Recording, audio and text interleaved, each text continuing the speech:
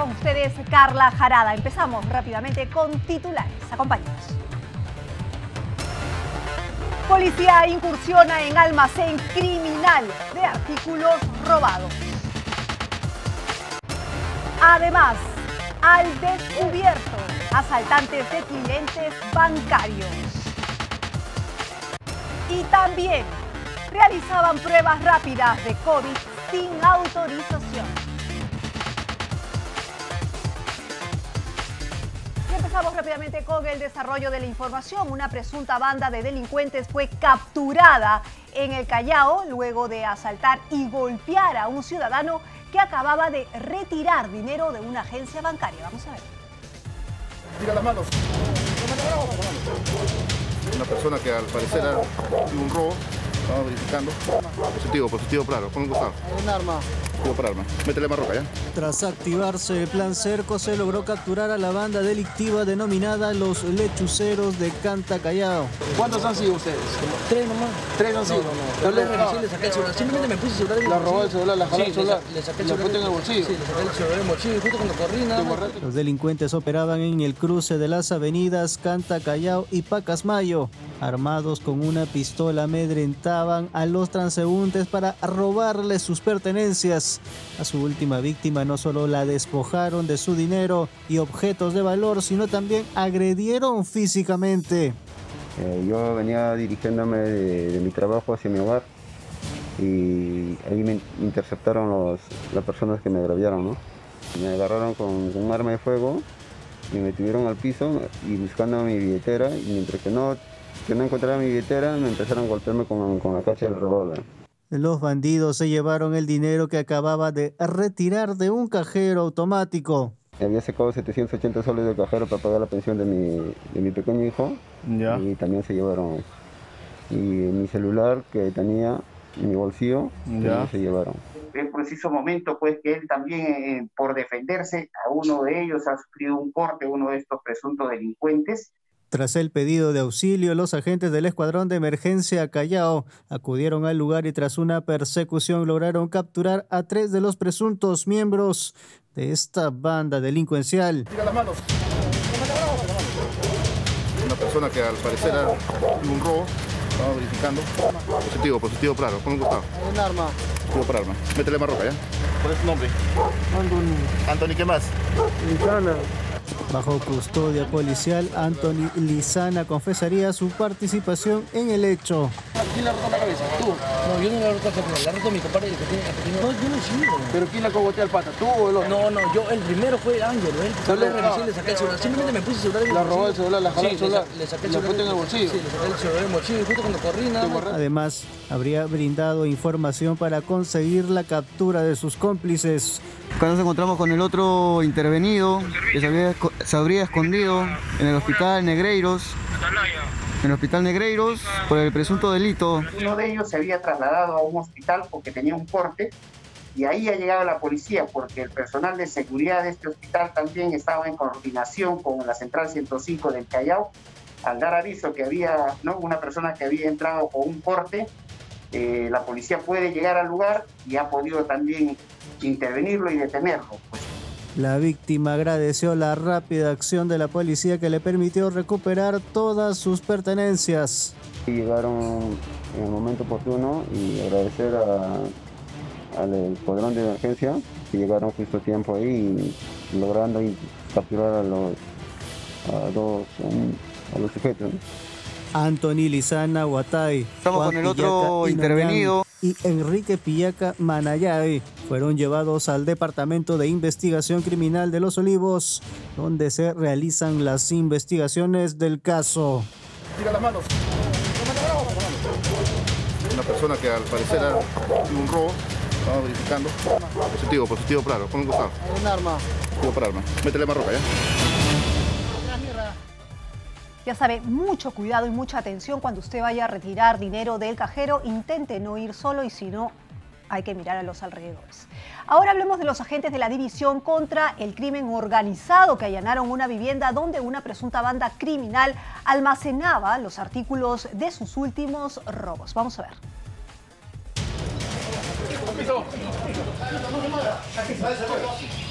La cabeza, la cabeza, la cabeza. Fueron apresados con el botín en las manos. Eh, no se mueva, no se mueva, si no... Ya. Para, párate. Una cocina, televisores, accesorios de maquinaria pesada y hasta un telescopio fueron encontrados en la guarida de los llamados elegantes de las gardenias, quienes ocultaban todo lo sustraído en este inmueble, localizado en Santa Anita. Tenemos, le llaman uñas de lampón, que utilizan las maquinarias pesadas en las palas mecánicas. Tenemos un telescopio también, un microscopio. Ellos se dedicaban a la comisión de delitos contra el patrimonio hurtos agravados en la modalidad de escalamiento. Es así que ingresaron a una empresa y del interior sustrajeron diversos accesorios de maquinarias pesadas.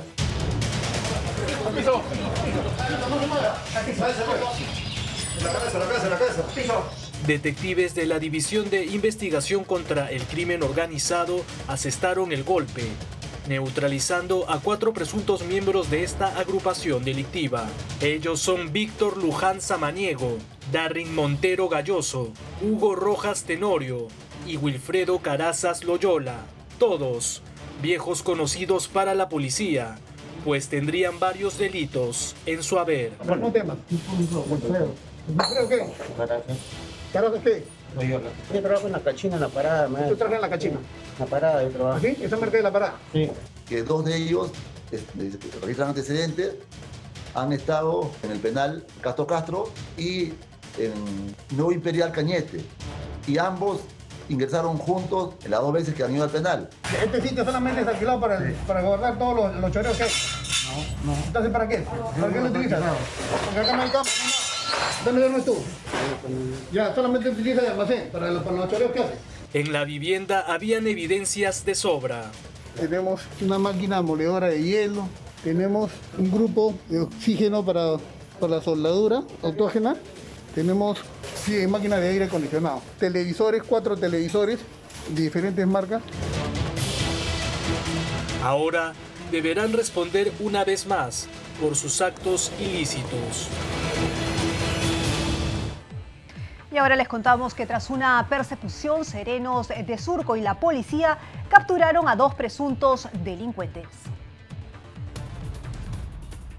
Las cámaras de seguridad los captaron en plena huida. Un delincuente sube a la moto de su cómplice luego de intentar robar un vehículo menor a la altura de la cuadra 10 de la avenida Primavera. Una persona intenta alcanzarlo sin éxito. De inmediato los operadores del Serenazgo de Surco alertan a sus agentes de la fuga de los asaltantes, quienes transitan por la carretera Panamericana Sur. De inmediato se ejecuta un plan junto con la policía para acercarlos. Los presuntos delincuentes al verse acorralados abandonan la motocicleta, iniciando la fuga a pie. Los serenos los siguen de cerca. Los persiguen a pesar del peligro de estar en una autopista con gran afluencia vehicular.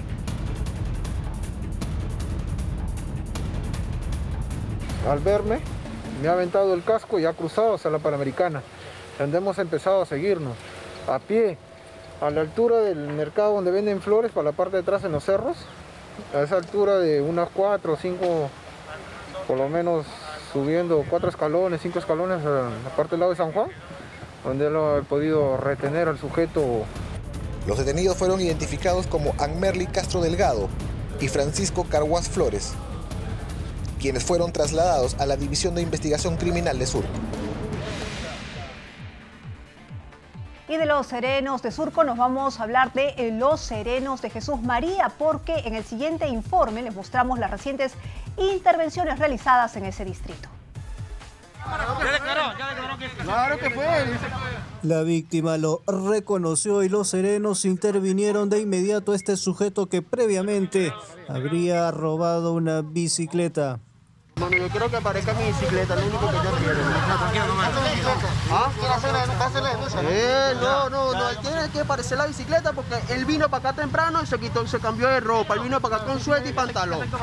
Tal y como lo describe el agraviado, el sujeto llevaba esas prendas cuando fue registrado por una cámara de seguridad. Entonces este, se procede a la intervención y, a la captura de este elemento de mal vivir. Eran dos personas y las dos fueron intervenidas. Inmediatamente se comunicó a la comisaría y se hicieron las, el traslado. Luque Barrera Carlos y una ciudadana extranjera que tendría complicidad con el intervenido fueron trasladados a la comisaría de Jesús María para continuar con las investigaciones. En otro trabajo realizado por el serenazgo de este distrito se detuvo a dos presuntos delincuentes dedicados al arrebato de celulares. Ambos trataban de escapar de las autoridades a bordo de una motocicleta, pero fueron interceptados por un sereno motorizado que evitó su fuga. Felizmente que su integridad física está bien del, efectivo de serenazgo y logró este, así hacer que la motocicleta de los delincuentes caiga a la pista y por ende los, asaltantes. Tras recuperar lo robado, Luis Barrientos Torres y Paul Santi Caballón fueron llevados a la comisaría del sector, donde se les investiga por delito contra el patrimonio. Hacemos nuestra primera pausa en Código 7, pero no se vaya porque al regresar les contamos cómo la Dirandro incauta droga en Ayacucho y Guaras. Volvemos.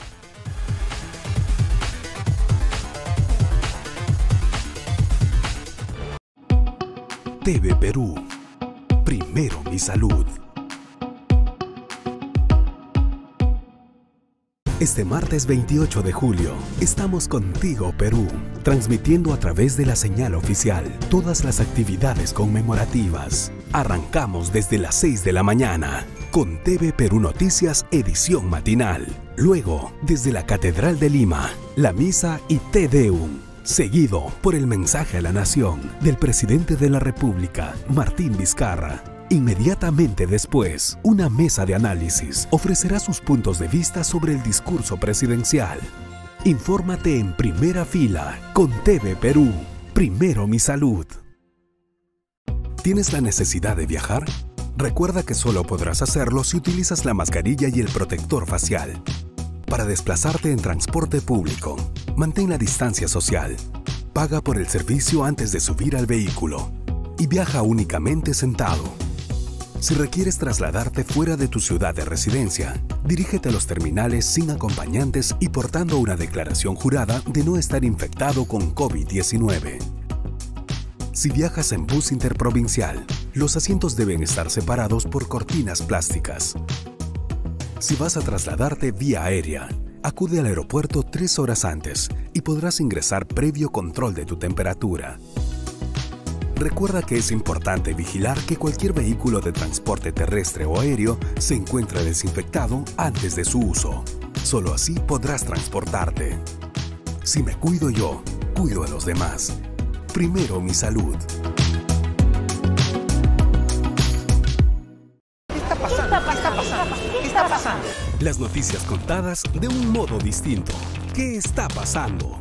Nicolás Salazar y Perla Berríos presentan los hechos que están ocurriendo y los más comentados del día. ¿Qué está pasando? De lunes a viernes a las 7 de la noche. TV Perú. Primero mi salud. Acompaña tus noches con TV Perú. A las 9, las entrevistas que dan profundidad a la noticia. Cara a cara con Enrique Chávez. A las 9 y 30, Lucho Trizano analiza la situación deportiva en su retorno a las canchas. TV Perú Deportes. A las 10, la lucha de las fuerzas del orden por mantener la paz y seguridad en el país. Código 7 con Roberto Wong. Y a las 10 y 30, Natalia, Javier, junto a invitados especiales, nos muestran una forma franca de usar la mente. Francamente. De lunes a viernes cambia tus noches con TV Perú. Primero mi salud. Mantén tu distancia con el resto de personas en todo momento. De un metro y medio a dos metros como mínimo. Si haces ejercicio o manejas bicicleta, la distancia no debe ser menor a los 5 metros. Si me cuido yo, cuido a los demás. Primero mi salud.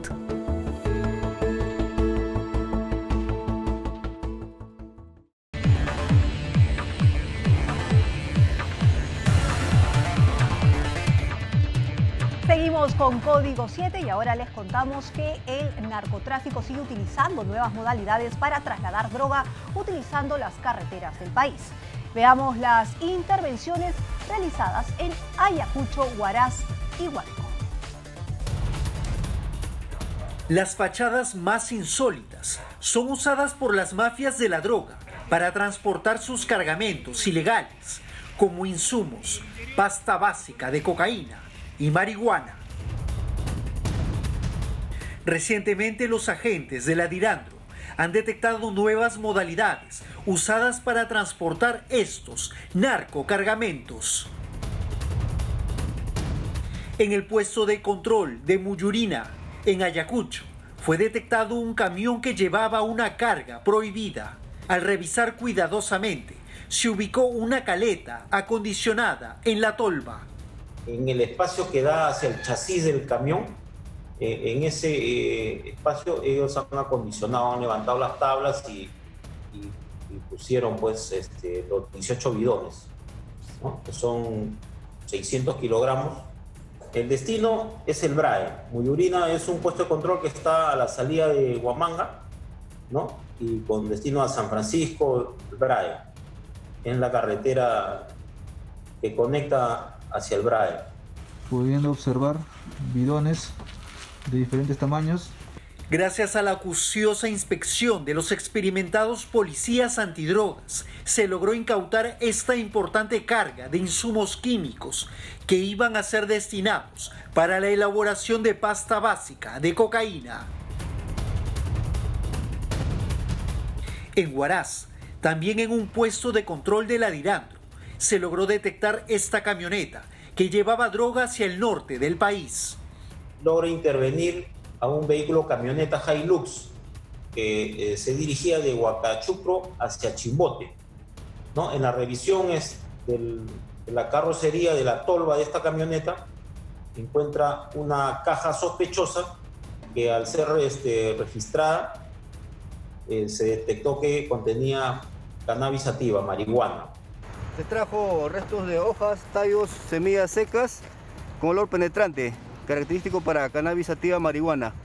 Este vehículo llevaba cerca de 4 kilos de marihuana, ocultos en esta caja, fingiendo ser una inofensiva encomienda. Pero el agudo olfato de los efectivos antinarcóticos logró descubrir esta carga ilícita. En Huánuco también se descubrió una carga de droga que pretendía ser trasladada. Esta vez, los traficantes utilizaron la cubierta de ser una carga de pescados, pero en realidad escondían una gran cantidad de PVC. arrojó una coloración azul turquesa, positivo presuntivo para el caloide de cocaína. logra detectar que bajo la fachada de- del pescado existía ahí 40 paquetes de diferentes formas conteniendo pasta básica de cocaína. Importantes operaciones de los agentes antidrogas que ahora han redoblado sus esfuerzos para evitar que las mafias del narcotráfico operen libremente en nuestro país. Y las fuerzas del orden realizaron una importante operación contra la minería ilegal en la Reserva Natural de Tambopata, en Madre de Dios. Atención.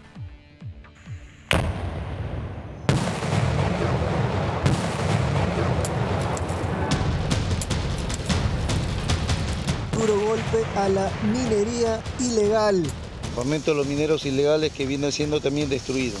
Transgredieron la Reserva Nacional de Tambopata en la región Madre de Dios. Aquí instalaron maquinaria para extraer el mineral de forma ilícita y con procedimientos artesanales. Las Fuerzas Armadas, Policía Nacional y el Ministerio Público se encargaron de destruir los campamentos y los equipos que se utilizaban para realizar la explotación de estos recursos. Este es el motor 1 de la traca. Tubo. En estas fosas se hallaron cuatro dragas con sus respectivos accesorios, motores, tolvas, combustibles y diversos insumos que luego fueron inhabilitados por agentes especializados en explosivos.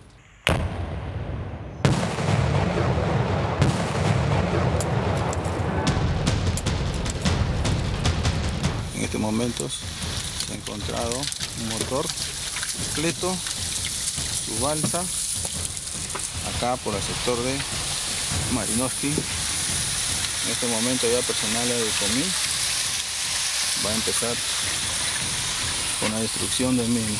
Los ambientes que se instalaron para albergar a los mineros ilegales también fueron destruidos.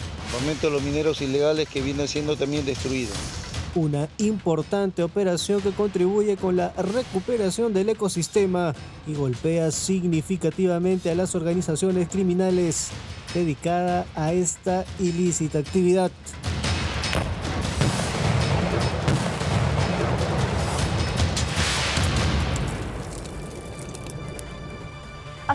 Corte comercial en código 7, pero no se mueva, porque al volver les contamos que un policlínico hace pruebas rápidas contra el COVID-19 sin autorización. Volvemos.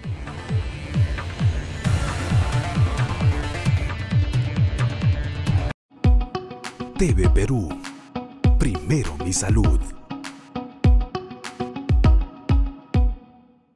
Este martes 28 de julio estamos contigo Perú, transmitiendo a través de la señal oficial todas las actividades conmemorativas. Arrancamos desde las 6 de la mañana con TV Perú Noticias edición matinal. Luego, desde la Catedral de Lima, la misa y Te Deum. Seguido por el mensaje a la nación del presidente de la República, Martín Vizcarra. Inmediatamente después, una mesa de análisis ofrecerá sus puntos de vista sobre el discurso presidencial. Infórmate en primera fila con TV Perú. Primero mi salud. ¿Tienes la necesidad de viajar? Si requieres trasladarte fuera de tu ciudad de residencia, dirígete a los terminales sin acompañantes y portando una declaración jurada de no estar infectado con COVID-19. Si viajas en bus interprovincial, los asientos deben estar separados por cortinas plásticas. Si vas a trasladarte vía aérea, acude al aeropuerto tres horas antes y podrás ingresar previo control de tu temperatura. Solo así podrás transportarte. Si me cuido yo, cuido a los demás. Primero mi salud.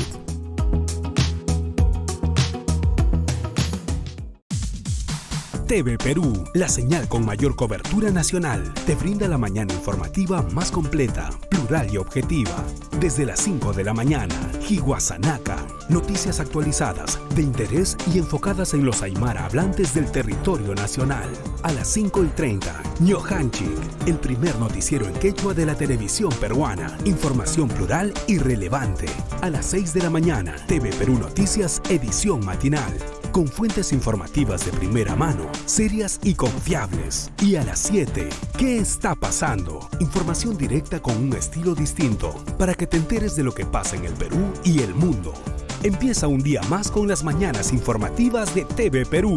A las 5, Higuasanaka. A las 5 y 30, Ñohanchik.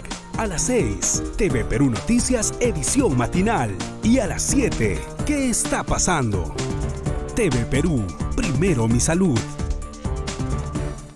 Si eres trabajador cultural independiente, tienes una organización o espacio cultural, o eres portador del patrimonio inmaterial y tu actividad se ha visto afectada por la emergencia sanitaria a causa del COVID-19, el Ministerio de Cultura pone a disposición ocho líneas de apoyo económico para mitigar el impacto producido por la suspensión o cancelación de las actividades vinculadas a las industrias culturales, las artes y las expresiones del patrimonio inmaterial. Puedes revisar las bases en el portal web apoyoscovid19.cultura.gov.pe. Gobierno del Perú. El Perú primero. Mantén tu distancia con el resto de personas en todo momento, de un metro y medio a dos metros como mínimo. Si haces ejercicio o manejas bicicleta, la distancia no debe ser menor a los 5 metros. Si me cuido yo, cuido a los demás. Primero mi salud.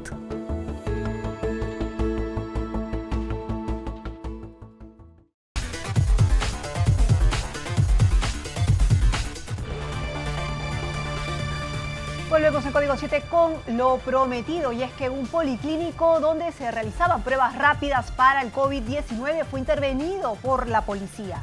El local no contaba con las medidas sanitarias requeridas por el MINSA. Sabe que usted está cometiendo un delito, ¿no? Doctor, ¿usted doctor es médico? Sí, médico. Eh, permítame su documento. Realizaban exámenes de descarte de COVID-19 sin las medidas sanitarias requeridas, poniendo en grave riesgo la salud de las personas.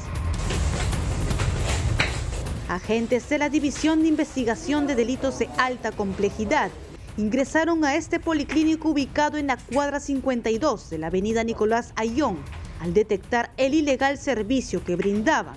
Minutos antes de que la policía ingresara al local, estas inescrupulosas personas habían realizado la prueba de descarte a este joven, quien habría pagado 150 soles por el examen. ¿Usted trabajaba acá? No. ¿No? ¿Quién le ha sacado? El doctor. Pase, señor. ¿Quién le ha sacado la sangre?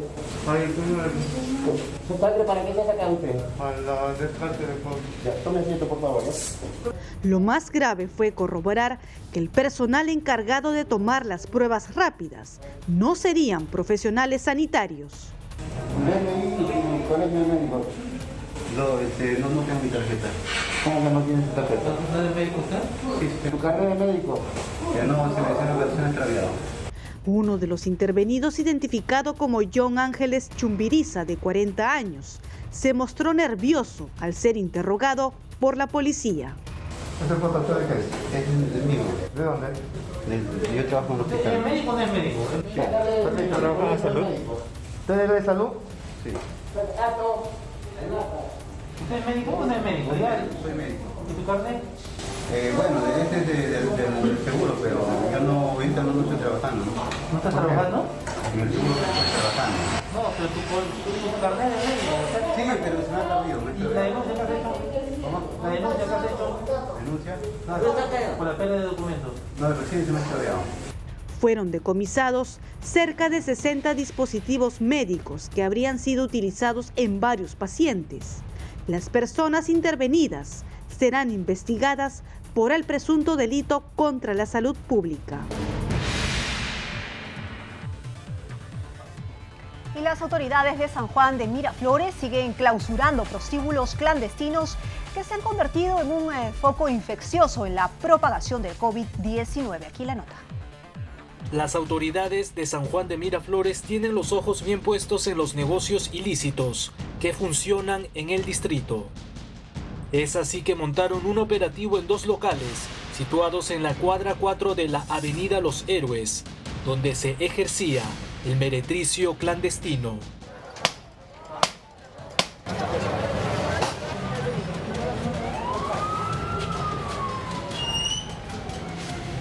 Estos lugares atendían a puerta cerrada, sin embargo, el golpe fue certero. En el primer objetivo, los efectivos ingresaron y encontraron en su interior a varias personas festejando con licor, junto a las trabajadoras del local. Amiga, ven, por favor. Escuchen, escuchen. Nadie me mueve nada. ¿Ya? Una mujer incluso trató de esconderse en el desván del inmueble. Por aquí, si como ha subido, así va a Ya, ahí, volteate y pisa acá. En el segundo local, otro negocio ilegal. Se encontraron a 10 personas atendiendo al público, sin respetar el distanciamiento social mucho menos el uso de la mascarilla. Ambos establecimientos fueron clausurados por el bien de la comunidad. Y un presunto delincuente fue intervenido por el Serenazgo de la Molina cuando robaba autopartes de un vehículo. El deteni- detenido, identificado como Héctor eh, Gamarra Canchari, había sido investigado anteriormente por el mismo delito. Entre sus pertenencias, la policía encontró cuatro emblemas metálicos de automóviles que acababa de sustraer.